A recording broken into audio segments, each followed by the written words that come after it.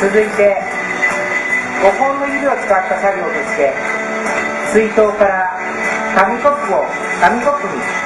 飲み物を注ぐための技術について説明します。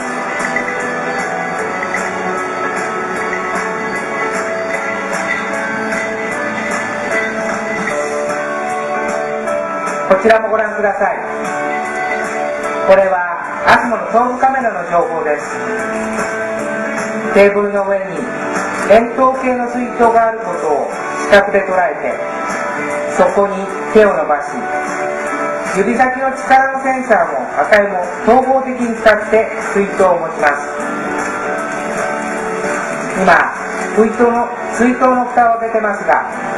この際にはしごは指の力を力センサーの値を用いて5本の指の力を均等にかけて回してます。今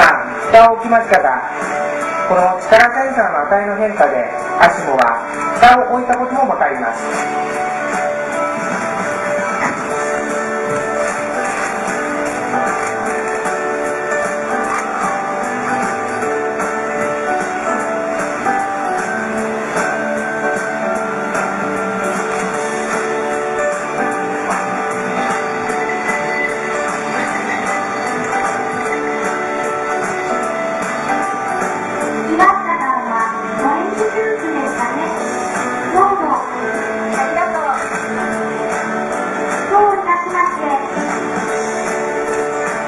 どうい